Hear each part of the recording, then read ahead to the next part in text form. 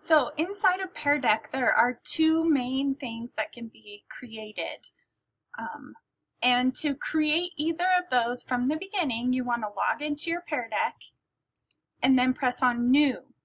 The two options are Slide Deck, which creates those interactive slideshows, or Vocabulary List. The Vocabulary List is the one that has the flashcard factory where the one partner draws and the other partner puts it in an example.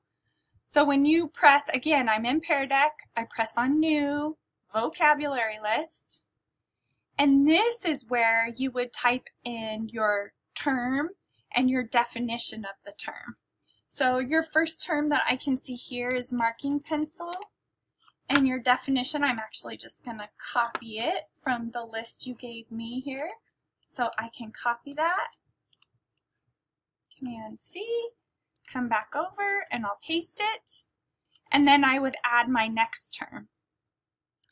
Once you've added all your terms and definitions, to play it with your student, you go back into Pear Deck and you choose the Play Flashcard Factory. And that's where the kiddos get the code, they get their partner, and they do the drawing and all of that jazz. So I hope that helps. Let me know.